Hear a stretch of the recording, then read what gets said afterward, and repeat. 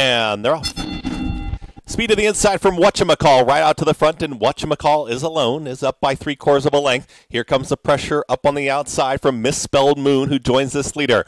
At the rail is going to be Ben Sunny Island, who's tracking in the third spot. Is to the inside of Sedona Rocks, who's in fourth. Losing some ground was Wheeling and Dealing, is in the fifth position, as they're pretty strung out here as they work towards that far turn.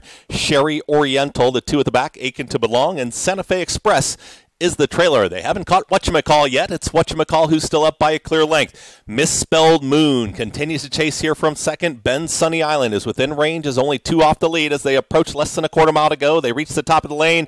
Whatchamacall now kicks for home. It's Whatchamacall about to split rivals from just off the pace was Ben Sunny Island. Ben Sunny Island's got some horses trying to muscle on through. Misspelled Moon is still in for the fight as well. Three across the course here, and here's Ben Sunny Island to put a nose in front. Misspelled Moon is not done. Comes comes right back towards the outside. It's going to be a photo. Photo finish looked like Ben Sunny Island to the inside, a misspelled moon. Then came Whatchamacall, who finished third.